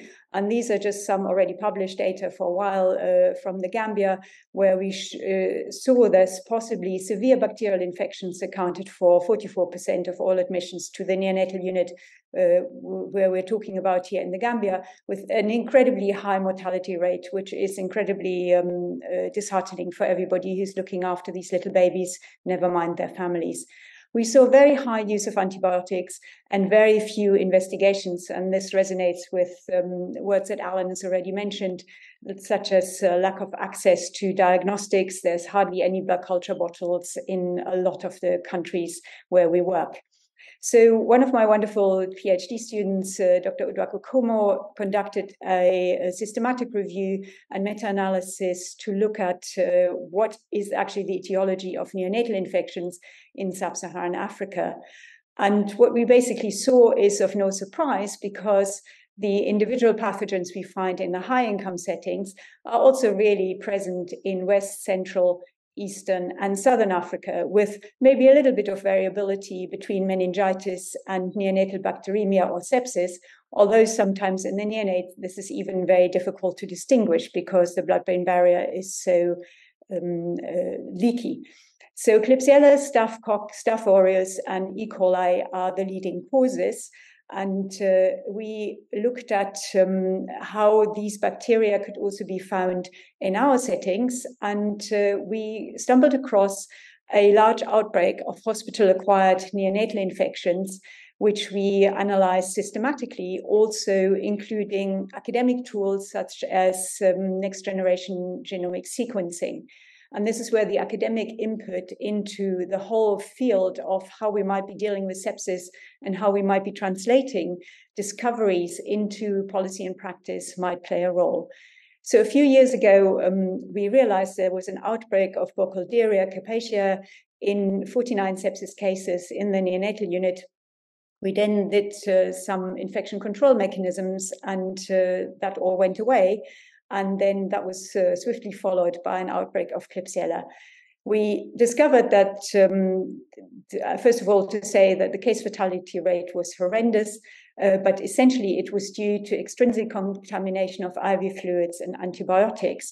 And this was all primarily down to lack of facilities, lack of training, lack of hand hygiene, lack of basic infection control practice, which is not a very sexy topic, is incredibly difficult to get funding for, but is probably the root cause for many of the hospital acquired infections that we're seeing. So we applied um, whole genome sequencing to trans- to define the transmission pathways and characterize two distinct outbreaks. And this was uh, published um, a couple of years back. Um, to give you some details uh, on the outbreak investigation, without going to through much detail, uh, it was very systematically um, worked up, and it was found that the source was actually intravenous antibiotics and fluids, where on a trolley of um, antibiotics that had to be given to patients, they were all drawn up from the same bottle of uh, uh dilute, diluting fluid with sodium chloride or, or uh, water for injections that had been parading around on that trolley in the neonatal unit for the majority of the day, and I think primarily with the same needle in that prong. So there were clearly lapses in nursing procedures and suboptimal hand hygiene. Uh, but it's a far cry from the individually packed uh, normal saline or um, water for injection uh, ampules that we find in our neonatal units or in hospitals in general. So when we started to um, sequence these organisms, we also saw uh, if you look at this diagram, which shows uh, the sex, the age, and the time of acquisition of the particularly um, particular strains of Burkholderia here, um, we already had a, a, problem in 2015, but it was much amplified uh, with sort of phylogenetic trees here showing four different clades of Burkholderia uh, with isolates collected from early and uh, later neonatal uh, stays on the neonatal unit when we um, then got to grips with this infection uh, outbreak by infection control, we a few months later found isolates from 39 patients and one environmental sample uh, identifying two subspecies of Klebsiella, which you can see here. There uh, is a Klebsiella quasipneumoniae subspecies and Klebsiella pneumoniae and what was quite uh, shocking is the level of resistance to antibiotics, um, which, as you can see here in the boxes that I've framed, uh, comprised just about everything apart from sulfonamides. And when we put this to also the um, phenotypical testing, we found excellent concordance between the genomics and the um, uh, the, uh, the, the subsequent phenotypical testing, and that basically left us with chloramphenicol in some of these neonates. But the mortality rate was so high that most of these babies were lost before any treatment uh, could actually be instigated that might have saved them. So, going back to the personal health, the question then is where do these bacteria come from and what is the role of maternal transmission? And in order to investigate this particular angle, we undertook a paired study of mother newborn pairs and investigated microbiologically by uh, taking cultures from babies who were admitted to the neonatal unit and uh, their mothers um, through rectal vaginal swabs. And we matched up pairs um, uh, of isolates that uh, were again whole genome sequenced because it's very easy to say the transmission occurs from the mother when actually a lot of the transmission occurs in the nosocomial setting and our infection control uh, interventions would have to be completely differently um, oriented. So this was also uh, published last year, and here's a snapshot of how this all happened. Um, we had uh, newborn blood cultures from 202 infants and maternal genital cultures from their mothers. Uh, 91 of the blood cultures were positive, lots of them obviously with clinically non significant isolates, as we also all know, a lot of um, staph epi. Um, but also phenotypically matched paired maternal newborn isolates uh, phenotypically matched, so just grown on culture. But when we went on to sequence these, we saw actually that genetically related, we only stumbled across four out of 11 of these isolates. So, in um, conclusion, we had to say that there was actually in our setting a lack of strong evidence to support vertical transmission of pathogenic bacteria from mother to neonate.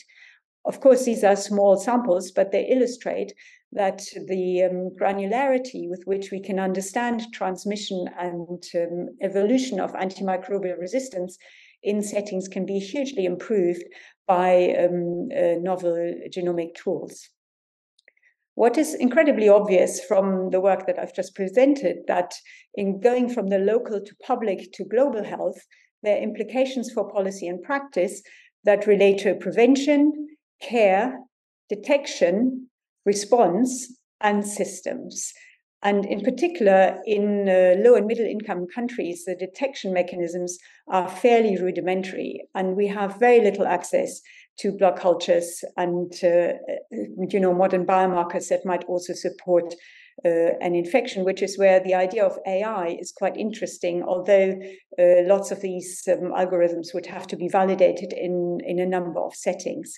So the sequencing of um, strains that are collected on a sort of genome-based surveillance studies, as we, for example, had with COVID, to improve identification of circulating pathogens strains and characterize the antimicrobial resistance, is routine in some of our hospitals, um, but certainly not routine in public health, and a far cry away from routine in the global setting. And there's a lot of translational gap to be closed and a lot of issues of equity um, and how we can really address these complex interactions in the uh, individual systems between public and global health where we find ourselves.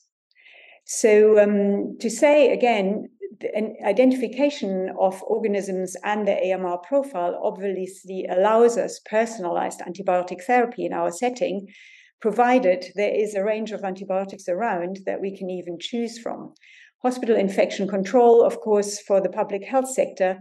And in the global health spectrum, there is an enormous benefit of the contribution to global databases regarding circulating resistance genes.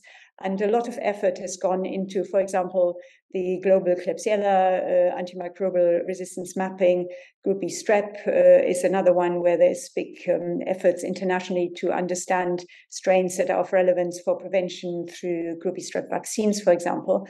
And the impact on antibiotic use in global communities cannot be underestimated. And again, we need to have much better One Health knowledge because, as we all know, a lot of AMR is driven um, by antibiotics used in the animal uh, uh, context. So, in conclusion, I think national public health policies and practices can certainly inform global stakeholders in order to bridge the gaps in knowledge and this needs to go from local to regional to international. And that also um, implies that we have to share data. I really strongly believe that research and academic institutions have an important role to play, and uh, Konrad alluded to this as well. And the novel technologies can enhance our efforts, but there remains an incredible translational gap. And the domestic public health requires strong communication and trust between different agencies and organizations. And from, if I understand Alan uh, correctly, from his insights, that's even in our European context, and even perhaps here in Berlin, not always a given scenario. effective global health initiatives require political and cultural diplomacy because there is an easy you know an easy stigmatization of um, bad practice an easy feel of guilt in settings where infection control might not have been optimal. And we really need to work towards the so famously called no blame culture to work together to find mechanisms to combat this. So i think in a globalized world public health is always also global and as not only healthcare professionals, but also global citizens and also as politicians. And this is where it goes to the um, discussions that will have to be had at the World Health Assembly. We are all asked to improve the prevention and management of health threats, be they personal, local, global, or planetary. Thank you very much. Thank you so much, uh, Professor Kampmann. Um, uh, uh, once again, there are there are a few questions uh, or no questions coming in. Um, uh, and I really would encourage participants for future sessions to to interact and, and ask questions of our speakers. So I suppose ju- just one from me in the interest of time, because we are quite over time, um, because it's been such a fantastic and diverse range of presentations. Um, you talked about inequity and you talked about the challenges that low and low to middle income countries face. Have you have you seen any examples of excellent and innovative practice in those countries? And i suppose if not are there are there any quick wins that you could identify that would be pertinent in those countries yeah, I mean, there's there's a big interest in um, this might not be what you expect, but in uh, kangaroo mother care, because uh, there is uh, you know there's evidence that if the infant is um, used to the maternal flora in a very comprehensive way, that this might, in a sense, uh, protect against some infections that might uh, cruise around in hospitals. And and so kangaroo mother care is an intervention that is low key, low cost, and introduced in many countries. I think we're we're kind of in the process of identifying um, host biomarkers for prediction of sepsis, and uh, not that these are properly validated, but this is a really rich area of research at the moment because if we could particularly not only to distinguish bacterial from viral infections, but if we could also predict infants at particular risk, that would make uh, an enormous impact because that would avoid the unnecessary use of antibiotics, which is very common in neonatal units, just uh, because we we are not sure what's going on. I think um, AI uh, algorithms, etc., I haven't yet seen the light of, but happy to explore. Of course, thank you. So one question has come in, and it, it's well, there's two now. Firstly, is screening of staff useful? I'm not sure whether that is specific to a particular pathogen or a general question.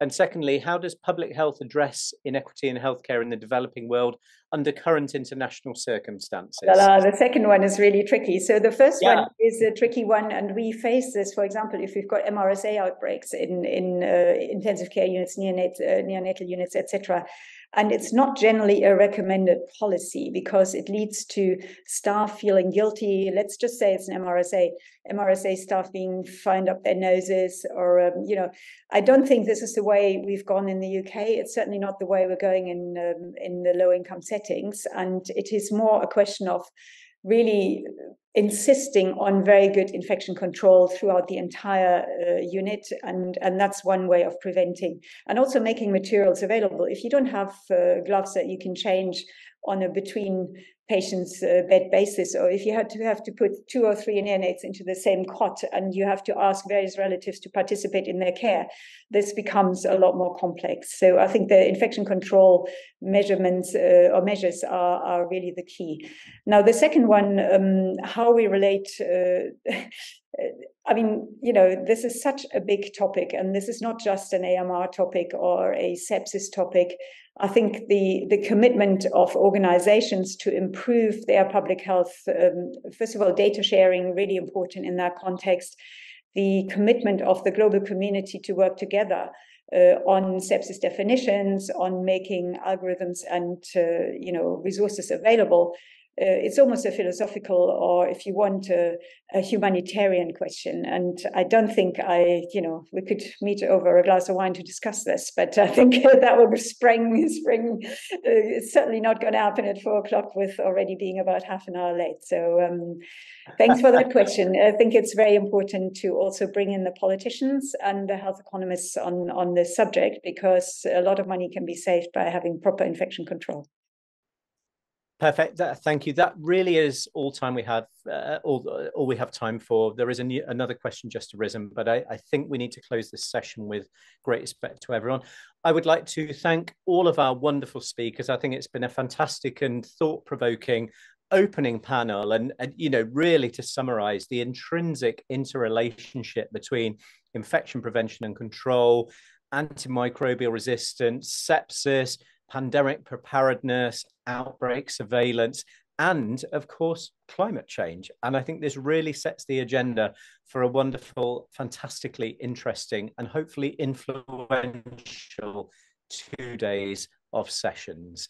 So thank you to all of our participants. Thank you for your questions, which are now coming in. Unfortunately, we're out of time, and I am pleased to bring to a close the opening session of the Fourth World Sepsis Congress. Thank you.